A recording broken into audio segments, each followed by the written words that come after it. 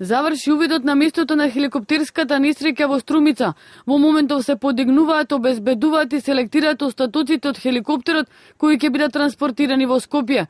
Потоа ќе следува дополнително прибирање на податоци, а до обвинителството треба да биде доставен и извештајот од страна на Комисијата за истражување на воздухопловни несреќи.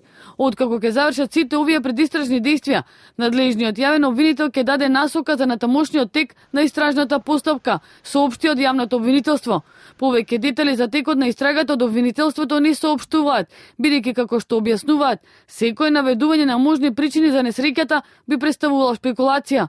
Повеќе детали за работата на комисијата во оваа фаза не соопштуваат ни од МВР.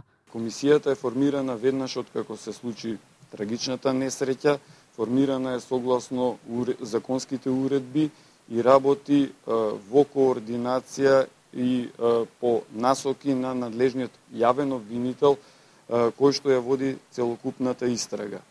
Во меѓувреме, одговори се чекат и од црните кутии кои ќе бидат отворени и преслушани или во Скопје или кај производителот на полицискиот Ми-17 во Русија. Меѓу одговорите кои веќе се бараат се дали и копната антена на радиодифузија во која удрил хеликоптерот била прописно осветлена и обележена и дали таа била причина за трагедијата која ги однесе животите на четворицата пилоти во четвртокот на вечер.